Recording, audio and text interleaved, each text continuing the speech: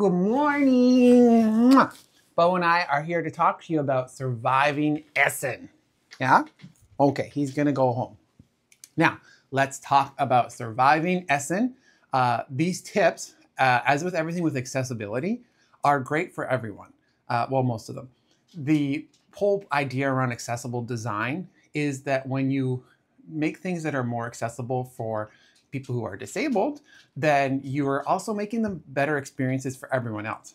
That is leads into what the actual first idea is, is that pre-order. There is an entire list of BGG uh, companies uh, on, on BGG of companies that, at Essen that have pre-orders available.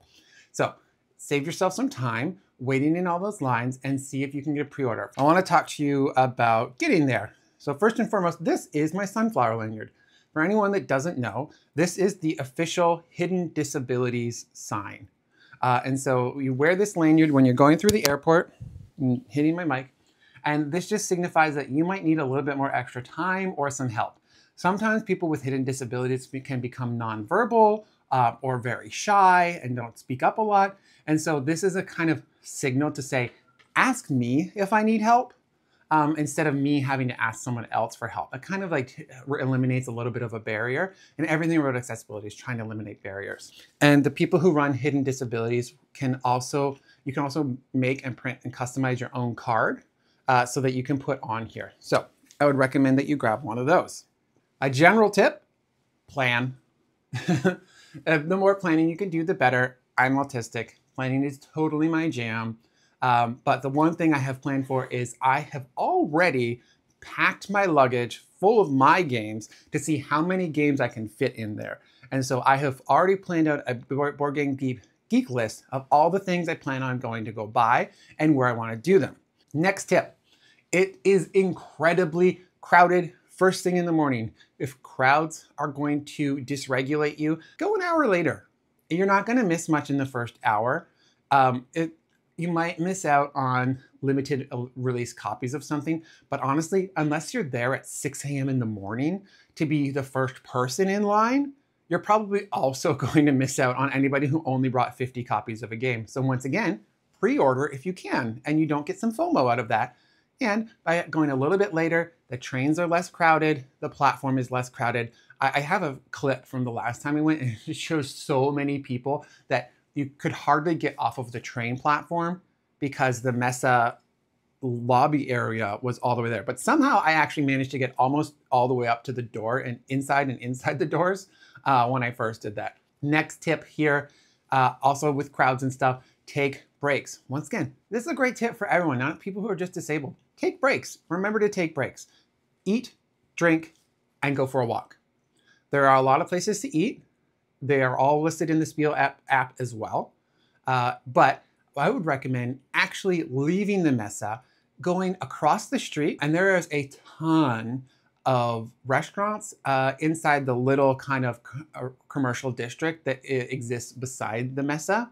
And so that's a good chance to get out, get some fresh air, go for a walk, and then go get some food. Now, if you're not hungry, also beside the Messe, but on the other side, is uh, the Grugapark.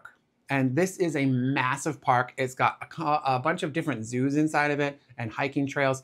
And uh, it's the beginning of October. The leaves may or may not have changed yet. Uh, when I went to Essen the last time, it was the end of October, so the leaves had changed. And it is just such a beautiful, calming walk.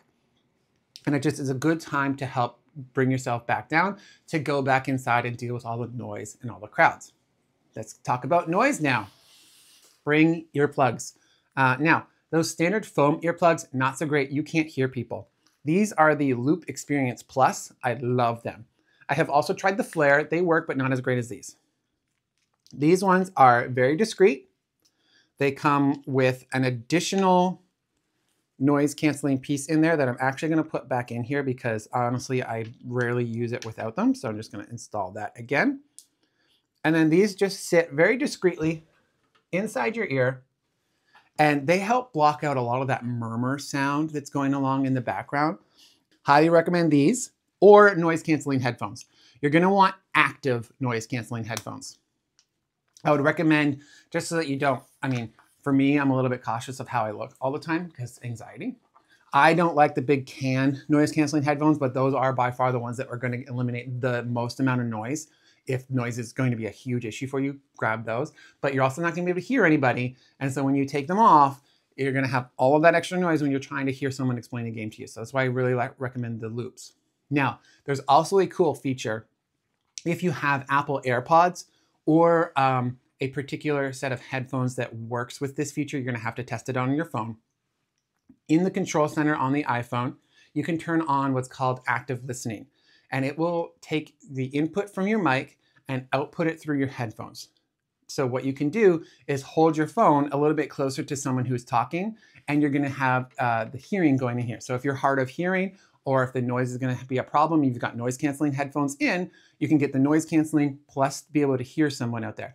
My headphones don't support this. I'm trying to find a pair that do that aren't the Apple AirPods because I also love listening to music and the sound of the Apple AirPod Pros is garbage.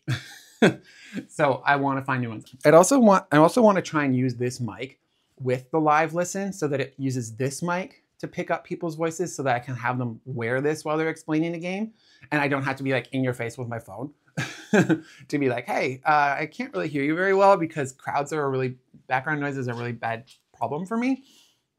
Um, so that makes it difficult. If you are from North America and you're not used to traveling in Europe, I highly recommend you get yourself a saddle bag or a passport bag. Pickpocketing is a huge problem.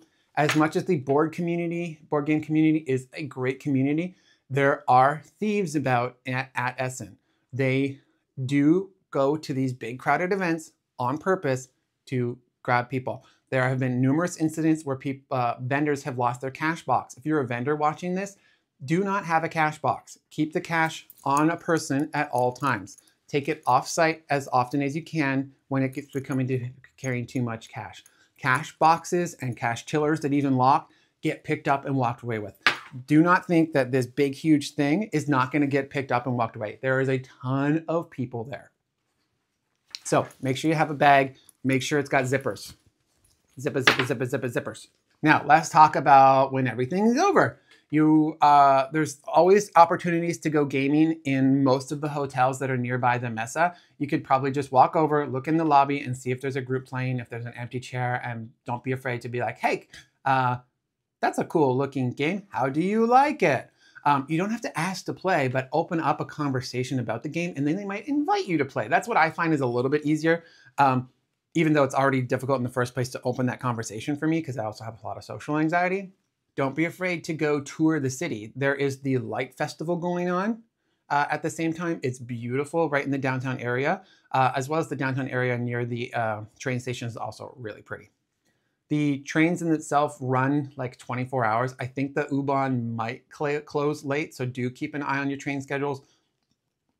Uh, the local regional transit app is called VRR. Um, I use the uh, Rheinbahn app, which is like the Rhine River Bahn, uh, and I have a Deutschland card uh, on there. If you buy the Deutschland card, make sure that uh, on October 1st, once they've charged your card, you also cancel the subscription because it's going to recharge your card next month if you don't cancel the subscription by the 10th. Remember that.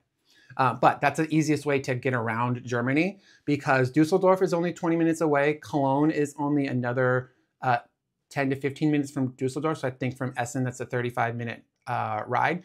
Uh, and they are beautiful cities. Don't don't be afraid to get out of Essen uh, and check things out, and don't be afraid to go check things out in Essen. Those are the tips I have for you.